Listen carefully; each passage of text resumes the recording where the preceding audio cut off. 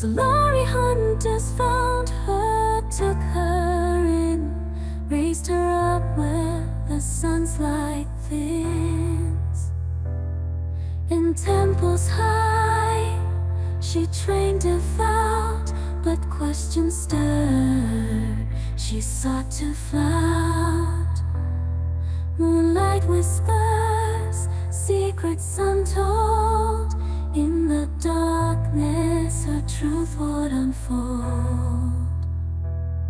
Diana, scorn of the moon, they say, cast aside, she finds her own way. In the depths of Targon, secrets hide, moon and sun now both abide.